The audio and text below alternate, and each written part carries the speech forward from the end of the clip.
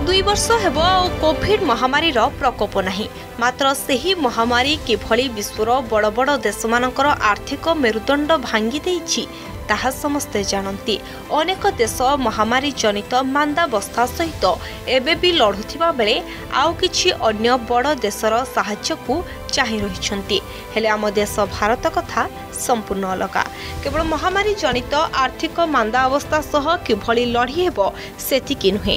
କୌଣସି କ୍ଷେତ୍ରରେ ଅନ୍ୟ ଦେଶ ଉପରେ ନିର୍ଭରଶୀଳ ନ ହୋଇ କିଭଳି ନିଜର ଅର୍ଥନୀତିକୁ ଦୃଢ଼ କରିହେବ ଆଉ ବିଶ୍ୱ ଅର୍ଥନୀତିରେ ଅନ୍ୟ ଆଗୁଆ ଦେଶ ତୁଳନାରେ ଆଗରେ ରହିହେବ ସେ ଯୋଜନା କରିଥିଲେ କେନ୍ଦ୍ରର ମୋଦି ସରକାର।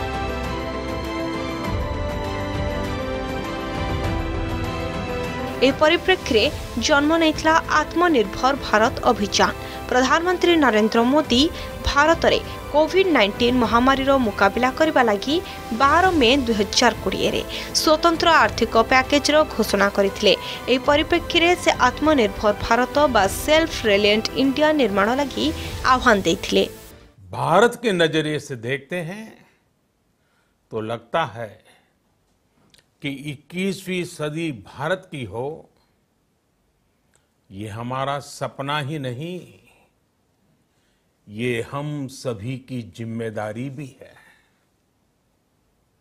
लेकिन इसका मार्ग क्या हो?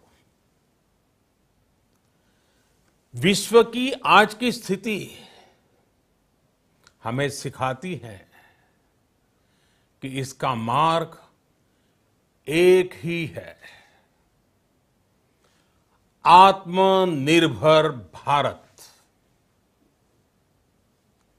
हमारे यहाँ शास्त्रों में कहा गया है एश पंथा, यानी यही रास्ता है आत्मनिर्भर भारत।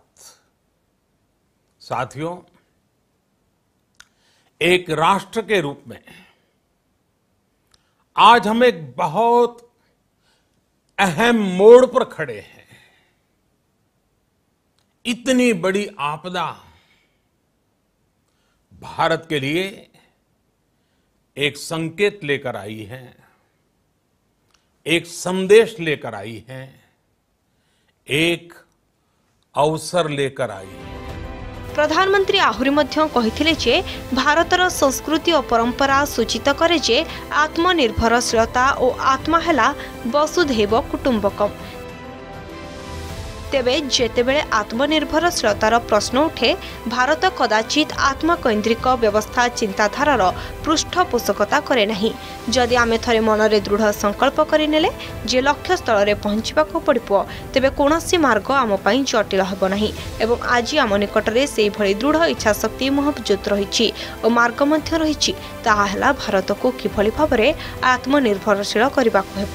ଆମର ସମୂହ ପ୍ରତିବଦ୍ଧତା ଏତେ ଦୃଢ଼ ଯେ ଭାରତ ଭାରତ ନିଶ୍ଚିନ୍ତ ଭାବେ ଆତ୍ମନିର୍ଭରଶୀଳ ହୋଇପାରିବ ଯଦି ଆପଣଙ୍କୁ ଆମ ଭିଡ଼ିଓଟି ଭଲ ଲାଗିଲା ତେବେ ଆମ ଚ୍ୟାନେଲକୁ ଲାଇକ୍ ସେୟାର ଓ ସବସ୍କ୍ରାଇବ୍ କରିବାକୁ ଜମା ବି ଭୁଲନ୍ତୁ ନାହିଁ।